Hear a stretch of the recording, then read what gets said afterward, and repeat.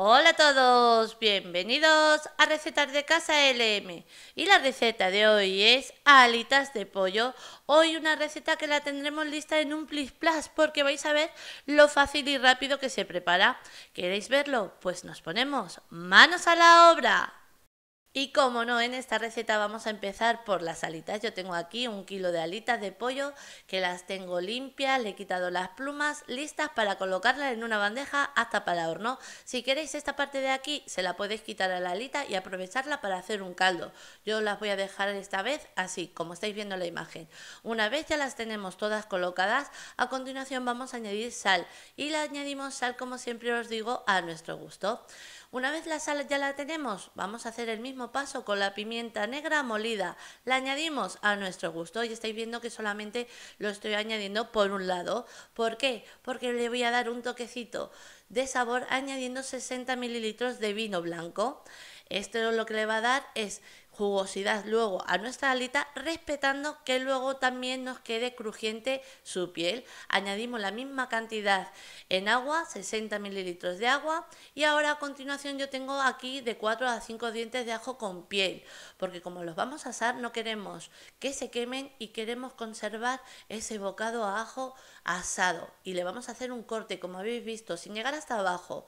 Una vez ya los tenemos listos, nos lo llevamos al horno.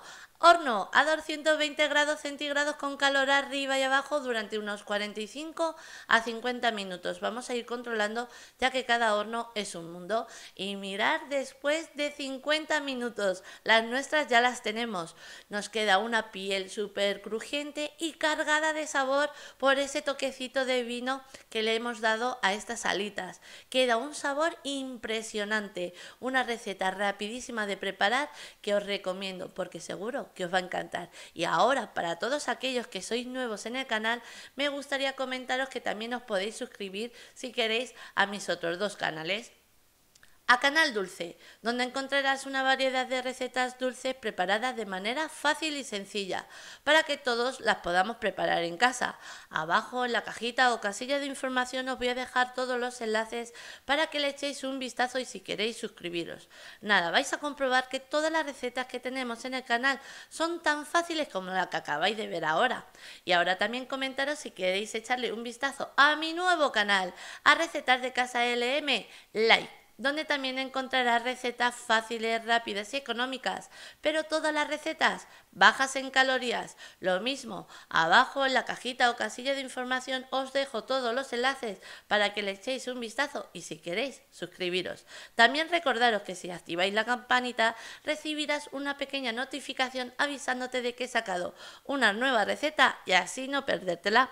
Me preguntáis que si el suscribirse a los canales es gratuito. Sí, el suscribirse a cualquiera de mis canales es totalmente gratuito. Y ahora sí, os dejo con la lista de ingredientes, pero antes deciros que así la hemos presentado. Espero que os haya gustado. Os mando un beso muy grande a todos.